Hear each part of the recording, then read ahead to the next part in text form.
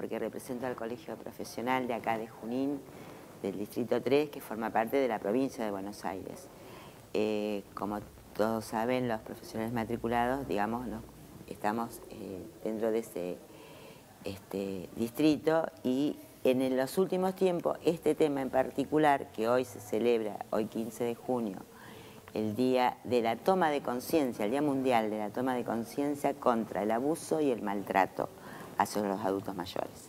Bueno, y, mm, hay, hay maltrato que, pasa que no percibimos, que, que, no percibimos las personas que estamos en actividad contra los adultos mayores, probablemente retirados, probablemente eh, jubilados. ¿Qué, es lo que nos pasa como imperceptibles? Digo como la violencia contra la mujer, viste que había un montón de cosas fue que, cambiando. que, nos pasaban por debajo del radar.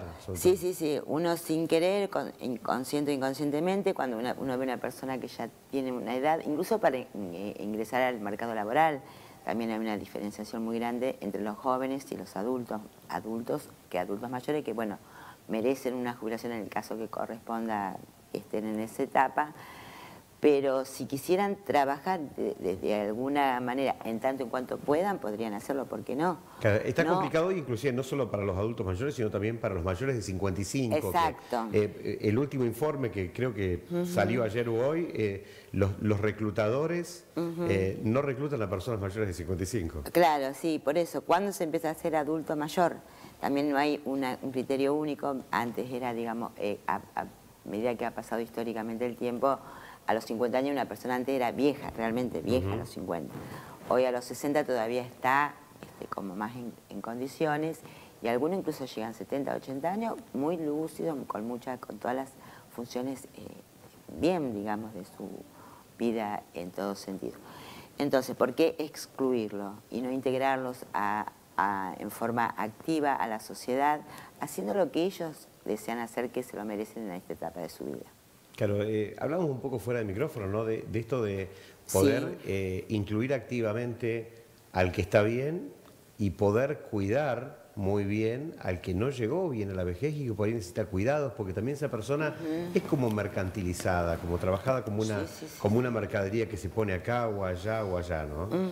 Tal cual, tal cual. Lamentablemente eh, se ven en muchos casos y bueno, después cambios culturales, este, antes había tal vez un poco mayor respeto hacia las personas mayores, hoy eh, no se está este, cuidando mucho ese, aspecto. Este, uno a veces ve en el banco, no, no digo solamente en las relaciones íntimas familiares, sino por ejemplo el banco que eh, antes se le cedía la silla a una persona mayor o lo que... Este, y eso se va perdiendo de a poco. Entonces es, hora, digamos, de, retrotraer y poder visibilizar eh, esta dificultad que tienen las personas adultas, por ejemplo, con la tecnología. Yo he visto que piden ayuda y por ahí no siempre se les concede, entonces, bueno, tratar de, que, de, respetarlos y sobre todo de hacer valer sus derechos, que los tienen como cualquier otra persona en cualquier otra etapa de su vida. Eh, es desde aquí que el Consejo Superior, porque nosotros eh, dependemos, digamos, de un consejo que está en La Plata, que concentra a los 15 presidentes del 15 distritos, eh, se decide eh, trabajar en una comisión provincial para adultos mayores. Hay lugares como Mar del Plata, eh, tengo compañeras, colegas de San Isidro, Mar del Plata y Bahía Blanca, que ya tienen una, trayectoria bastante importante, se está investigando mucho y profundizando el tema.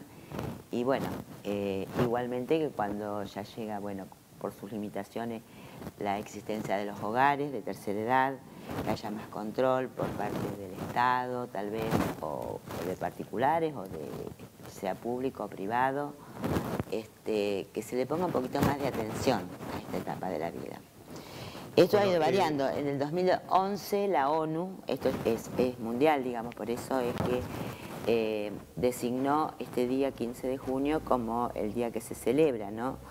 Y, pero en el 2015 la OEA Organización de los Estados Americanos también lo incorpora dentro de su calendario y en el año 2017 Argentina eh, le da una ley especial que es la 27.360, donde eh, sobre todo se, trata de, eh, o sea, de visibilizar la temática y reconocer oficialmente que es un problema social global esta situación de los adultos mayores.